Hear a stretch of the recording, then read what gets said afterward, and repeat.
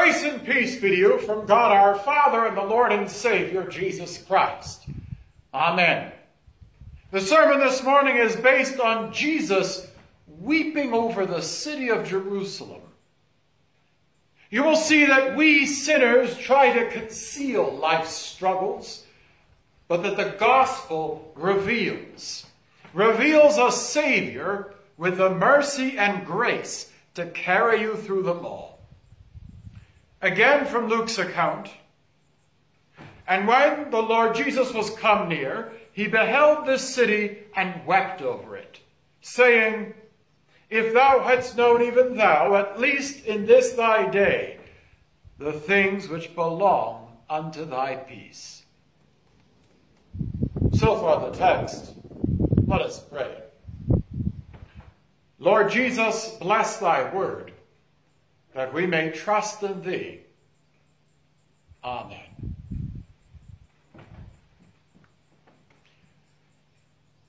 In the Disney fairy tale Frozen, Princess Elsa is given a bit of advice from her father on how to cope with emotional stress.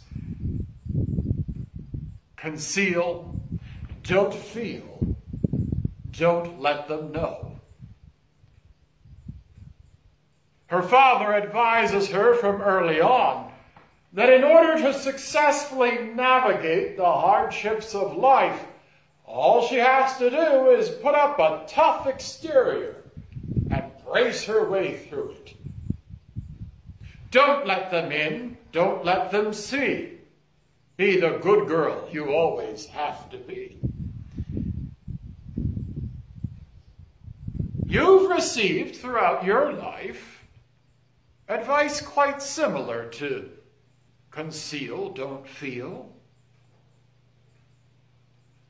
From a coach who told you to walk it off, that the best way to get over the pain is to get back into the game.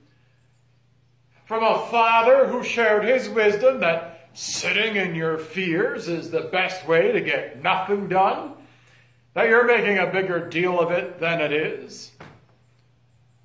What mother doesn't instinctively try to hush a crying child as quickly as possible or go through any length to cover up conflict and make the home an at least outwardly peaceful place once more? But you don't need your parents to whisper how you should just calm down. It's advice you're more than happy to offer yourself. For we tell ourselves that it's best to keep life's disappointments a secret. Why people have enough problems of their own. They don't need to be bothered with yours. Or perhaps you've sadly come to learn that if you let people see your weaknesses, there's always someone ready to take advantage of it. No matter the reason, you learn to keep your struggles hidden to a degree and acquire a natural aversion to such displays of emotion which really ought to be better concealed. So that when they aren't, and you find yourself trapped, uncomfortable, and ill equipped to handle such tears. Return to placating cliches, trying to make it go away or escape as quickly as possible. It'll get better. It's not that bad. They're there. You see, the sinner is all too often eager to take and turn to that advice of Elsa's father conceal, don't feel. But is it all that successful a technique? Why, the adrenaline rush of jumping right back into the game does help you overcome that injury. But years of playing so hard on those seemingly mild bruises is probably the good cause of a good deal of your lingering aches and pains later in life.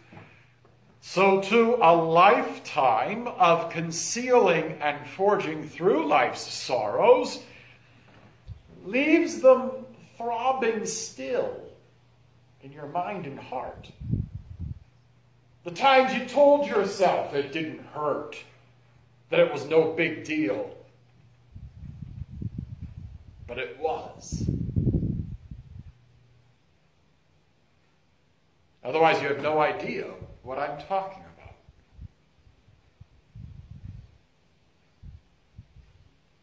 Conceal. Don't feel. Keeping an outward peace and calm might get you through the moment.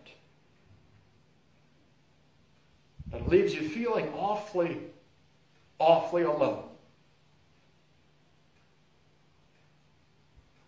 Like Princess Elsa, who isolated herself in her attempts to conceal, not feel, in vain.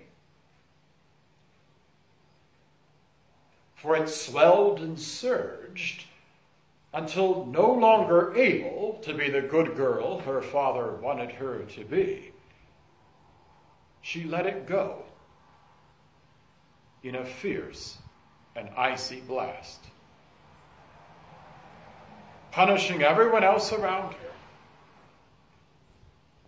none of whom were in any way responsible for that with which she struggled. So, too our attempts to conceal life's pains, all they do in the end is make our hearts grow ice cold. Turning to your ability to cope rather than your God. Avoiding our neighbor's painful moments lest you have to face your own ever more desensitized to the harsh realities of this world until every sinner hits their eventual breaking point, taking out on others what you can't handle yourself. Ice cold hearts. Or to be more scripturally precise, yea, they made their hearts as an adamant stone. Hearts of stone, which as the prophet Zechariah continues, deserve but a great wrath from the Lord of hosts. We let our wrath go on those who aren't res- really responsible in any way. God's wrath, though,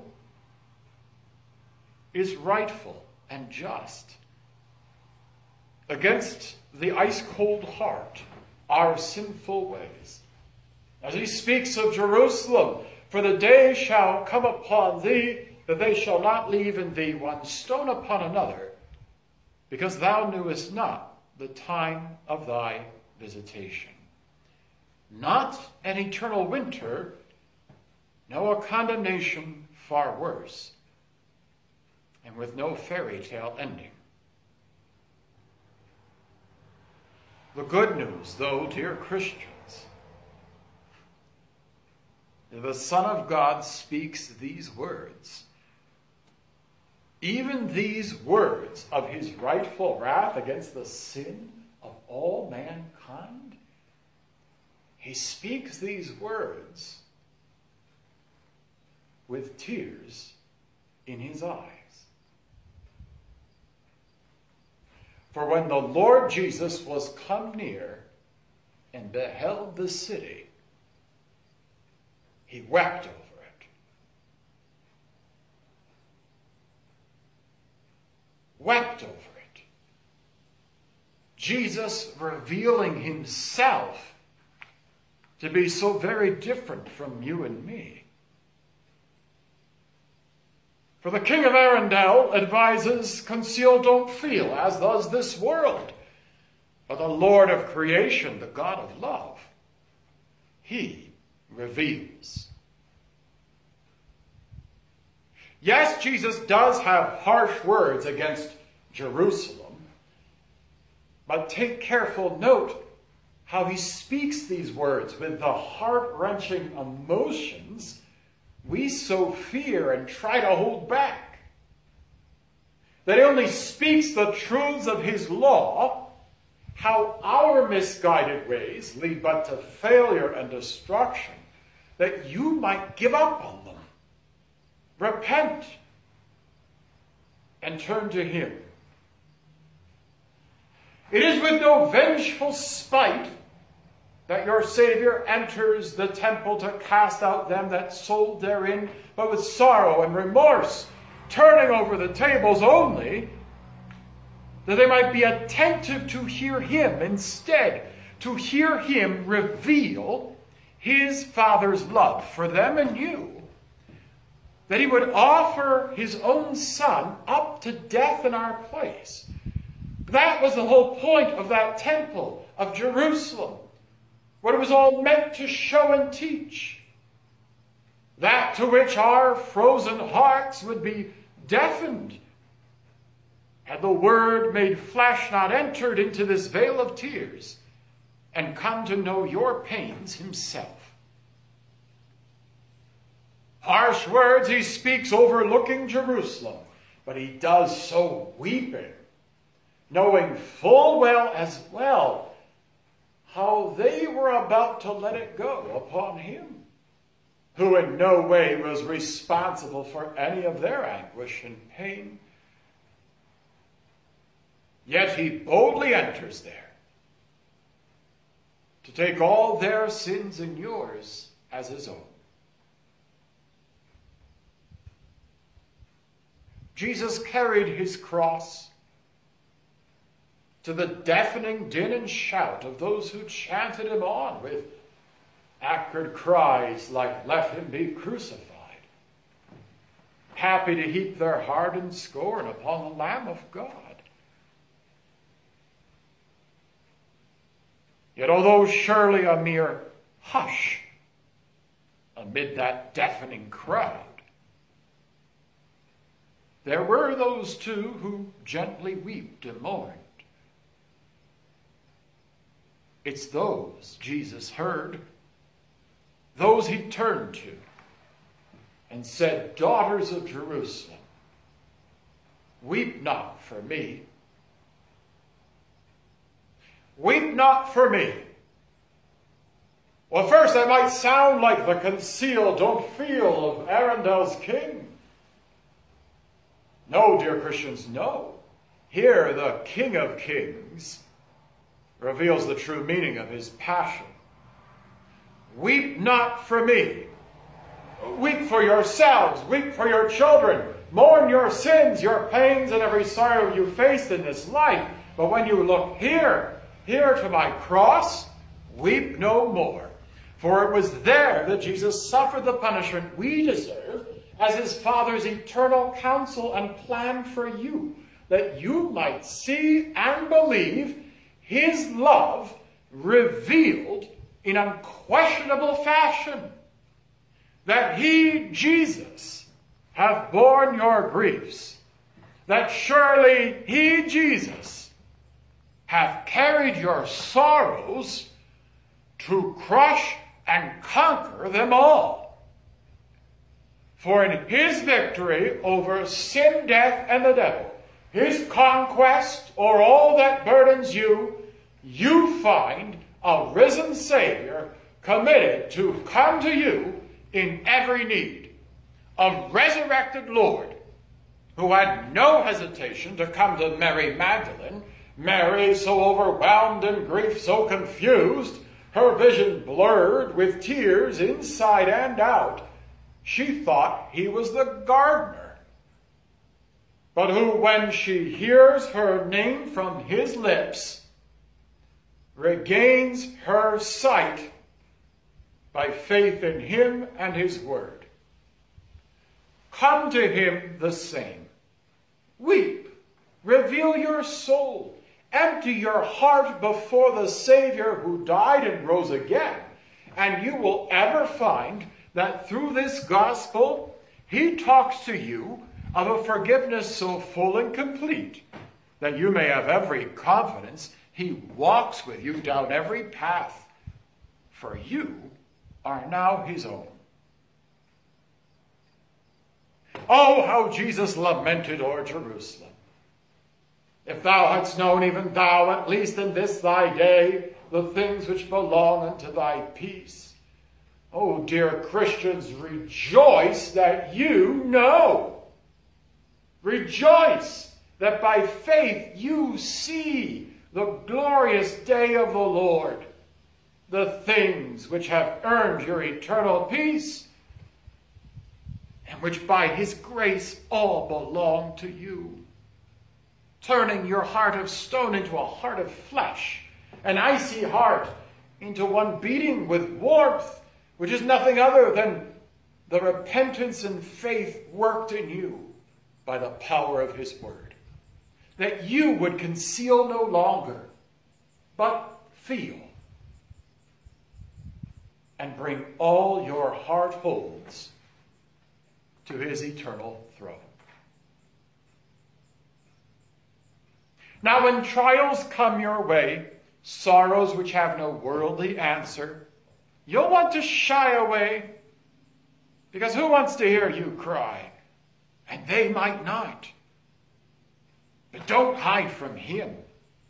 Come to Jesus. Weep. Weep for yourself. Weep for your children. But don't weep for Him. See instead by faith how He weeps with you. So go ahead, feel, let it go to Jesus. And in Him, find comfort and peace. This gospel, it's no fairy tale, no Disney fable, but the true story of the Prince of Peace come from heaven above to wipe away your tears today and to come again the last day to make them no more. Giving you an ending far better than any story man's imagination could conceive. Now the peace that passeth all understanding, keep your hearts and minds in Christ Jesus our Lord. Amen.